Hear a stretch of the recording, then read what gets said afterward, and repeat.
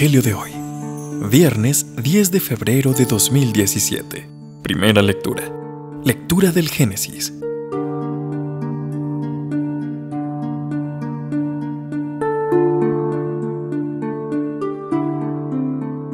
La serpiente era más astuta que las demás bestias del campo que el Señor había hecho, y dijo a la mujer, ¿Con que Dios os ha dicho que no comáis de ningún árbol del jardín?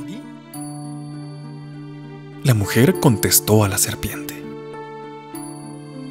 Podemos comer los frutos de los árboles del jardín, pero del fruto del árbol que está en la mitad del jardín, nos ha dicho Dios, no comáis de él ni lo toquéis que de lo contrario moriréis. La serpiente replicó a la mujer, No, no moriréis. Es que Dios sabe que el día en que comáis de él, se os abrirán los ojos y seréis como Dios, en el conocimiento del bien y del mal. Entonces la mujer se dio cuenta de que el árbol era bueno de comer atrayente a los ojos y deseable para lograr inteligencia. Así que tomó de su fruto y lo comió. Luego se lo dio a su marido, que también comió. Se les abrieron los ojos a los dos y descubrieron que estaban desnudos, y entrelazaron hojas de higuera y se las ciñeron. Cuando oyeron la voz del Señor Dios que se paseaba por el jardín a la hora de la brisa, Adán y su mujer se escondieron de la vista del Señor Dios entre los árboles del jardín. Palabra de Dios. Te alabamos, Señor.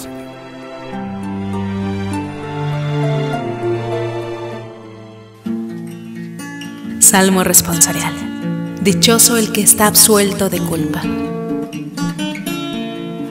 Dichoso el que está absuelto de culpa, a quien le han sepultado su pecado. Dichoso el hombre a quien el Señor no le apunta el delito y en cuyo espíritu no hay engaño. Dichoso el que está absuelto de culpa. Había pecado, lo reconocí, no te encubrí mi delito. Propuse, confesaré al Señor mi culpa, y tú perdonaste mi culpa y mi pecado. Dichoso el que está absuelto de culpa. Por eso, que todo fiel te suplique en el momento de la desgracia. La crecida de las aguas caudalosas no lo alcanzará.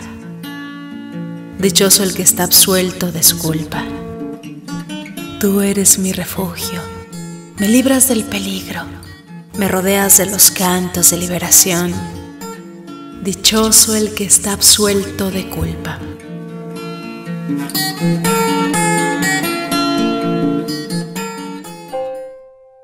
Lectura del Santo Evangelio según San Marcos. En aquel tiempo, dejando Jesús el territorio de Tiro, pasó por Sidón, camino del mar de Galilea, atravesando la Decápolis, y le presentaron un sordo que, además, apenas podía hablar, y le pidieron que interpusiera la mano. Apartándolo de la gente, a solas, le metió los dedos en los oídos y con la saliva le tocó la lengua. Y mirando al cielo, suspiró y le dijo, Efetá.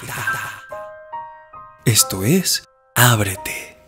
Y al momento se le abrieron los oídos, se le soltó la traba de la lengua y hablaba correctamente. Él les mandó que no lo dijeran a nadie, pero cuando más se lo mandaba, con más insistencia lo proclamaban ellos. Y en el colmo del asombro decían, todo lo ha hecho bien. Hace oír a los sordos y hablar a los mudos. Palabra del Señor. Gloria a ti, Señor Jesús.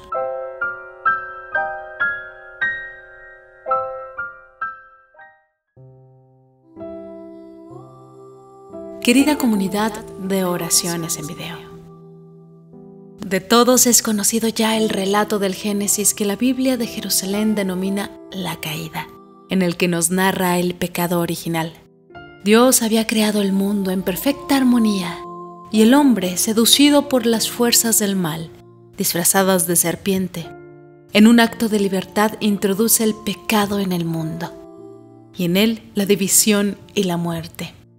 Ya nada será igual. Después del pecado, el hombre que se relacionaba con Dios como un amigo se esconde, huye de su presencia por fiarse de quien lo adula.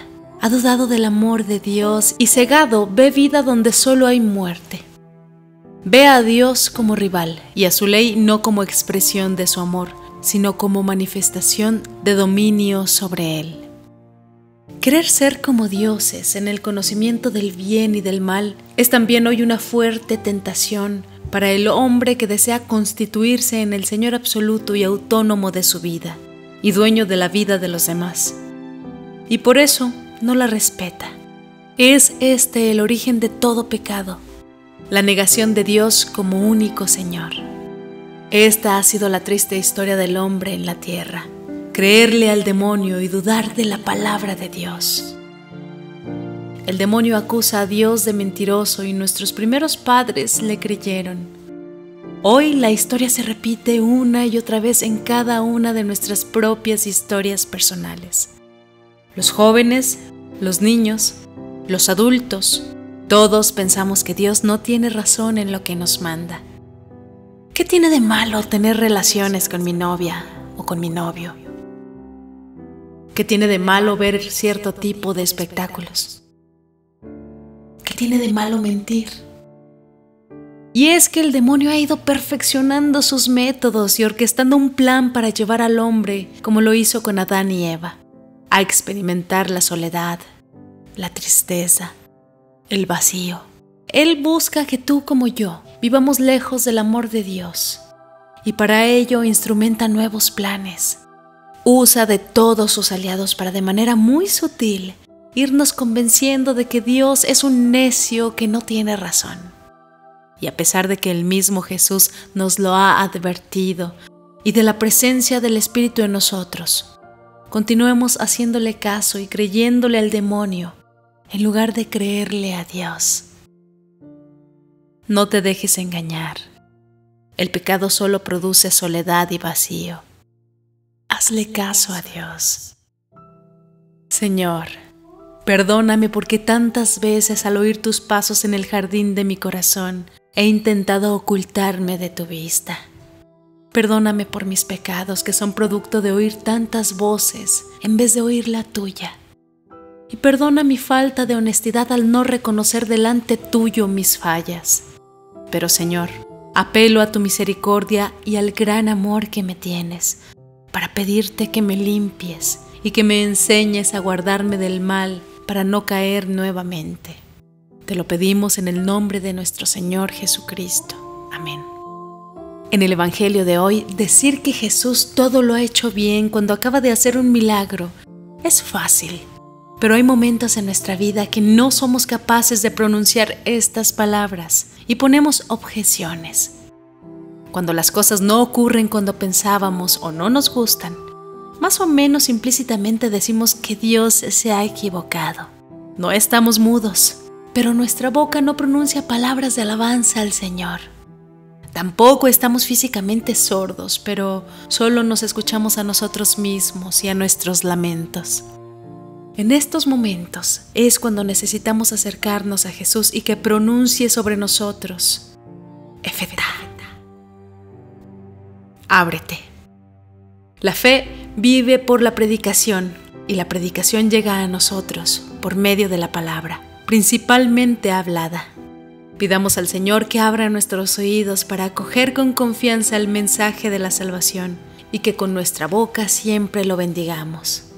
Que nuestra fe siempre nos haga proclamar que todo lo ha hecho bien, porque es Él quien lo ha permitido y es para nuestro bien. Es necesariamente oír la palabra de Dios para luego poder hablar de ella. ¿Cómo conocerán a Dios si nadie les habla de Él? ¿Y cómo les hablará a alguien que nunca ha escuchado la buena noticia del Evangelio? Por ello Jesús no duda en hacer las dos cosas. Abre los oídos del sordo y le destraba la lengua para que pueda hablar. Ahora él mismo se ha convertido en un testigo del amor de Dios Y por ello, como dirá el apóstol San Juan en su primera carta, puede dar testimonio de lo que ha visto y de lo que ha oído. Si hoy no habemos muchos que hablemos de Jesús es porque tenemos nuestros oídos cerrados y nuestra lengua trabada. Pidamos hoy al Señor que abra nuestros oídos a su palabra y nos desate la lengua para anunciar a nuestros compañeros y vecinos la buena nueva del Evangelio. Anteayer nos decía Jesús que solo lo que sale del corazón puede manchar al hombre. Lo peor que nos podría salir de él sería el sentimiento de que Dios es un estorbo a nuestra libertad o a nuestra felicidad. A veces por influjos extraños o por causas desconocidas, la imaginación o el sentimiento nos pueden traicionar. Ellos serían la serpiente que debemos tener a raya para que no nos seduzca. Cuando el hombre intenta eliminar a Dios de su vida o cree haberlo logrado, de pronto se encuentra desnudo como Adán. Padre Santo, te damos gracias, Padre, por habernos permitido llegar con vida el día de hoy y hasta este momento. Te damos gracias por el pan de cada día.